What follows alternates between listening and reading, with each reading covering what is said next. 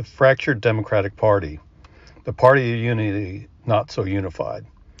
The weekend was another dominated by anti Israeli, pro Hamas, and anti Jewish protests in the U.S. and Western Europe. One did not have to look far to find protesters praising Hamas violence or calling for violence against Israel and the Jews themselves. This has shocked the conscience of many who never thought that the left wing of politics, especially in the U.S., would be so openly anti Jewish. Though one did not have to look far to find the anti Semitism just boiling below the surface of the American left, so it should not have come as too much of a surprise. The Israeli invasion has brought that anti Semitism to the surface, and now the Democratic Party must find a way to manage it. The problem for the Democrats that managing it could fracture the party and its coalition of disparate groups.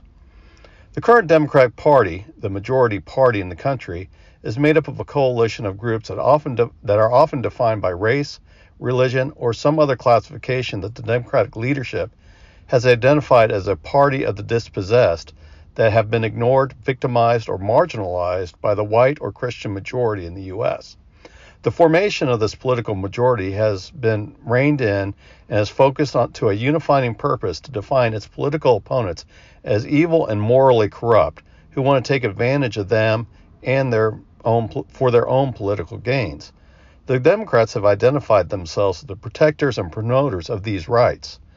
This has turned up the political heat in the U.S. Uh, as political disagreements are no longer about policy, but about moral rights and wrongs. If the focus can be kept on deep antipathy of the opposition, the coalition will prevail.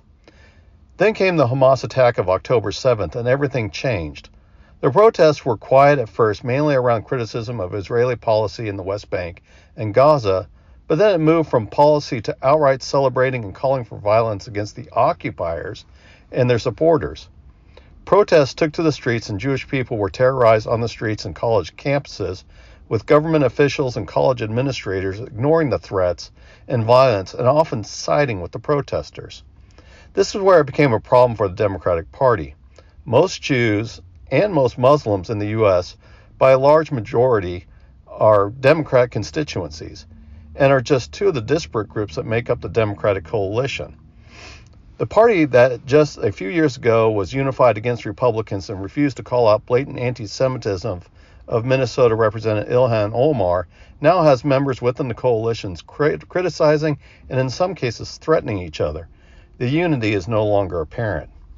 Michigan Attorney General Dana Nessel has called on Michigan Representative Rashida Tlaib to retract her calls for Israeli genocide which she tried to equivocate but never retracted. Tlaib has also threatened Joe Biden that if he continues to publicly support Israel, he will lose the Muslim vote. This is relevant because Michigan is now a swing state and has a significant Muslim population. Without Muslim support, Joe Biden could very well lose Michigan. Renowned constitutional attorney and law professor Alan Dershowitz wrote an opinion piece that stated both severely and criticized severely the Democratic leadership for some of its response in, col- response in colleges and unequivocally and university administrators that failed to address the violence, intimidation, and vitriolic rhetoric against the Jews. Dershowitz did serve on President Trump's legal team during the first impeachment and has written a book criticizing the treatment of President Trump. Despite this, Dershowitz has claimed himself a lifelong Democrat who voted for Hillary Clinton and Joe Biden over Trump. He has now called on officials to rein in the anti Jewish sentiments, or he and many other Jews will switch parties. Muslim political figures in the U.S. are threatening to withhold support unless the Biden administration reverses its support for Israel and end all aid. The Jewish bloc, alarmed by this anti Jewish element in their, their party, now threatening to switch parties. If both these blocs withhold support or vote Republican, this could tip the balance of this in swing state in swing states to the Republicans. If the Jewish vote leaves the Democratic Party, can it be assumed that the Muslims will stay aligned with the Democratic Party? How does this change the complexion of the Democratic Party? Does this mean that it will never elect a pro Jewish leader again and adopt policies and positions hostile towards Israel? How does a highly religious Muslim population navigate in a party whose young and energetic base is pro socialist and distinctly anti religious? What becomes of the LGBTQ community status in a newly energized Muslim bloc that was able to push the Jews out of the party?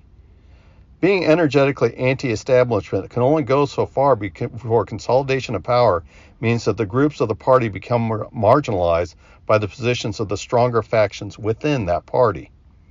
The Biden administration seems caught off guard by the strong anti Jewish sentiment from the highest levels of power within the party establishment down to the rank and file voters of the party, many of whom attacked the White House over the weekend.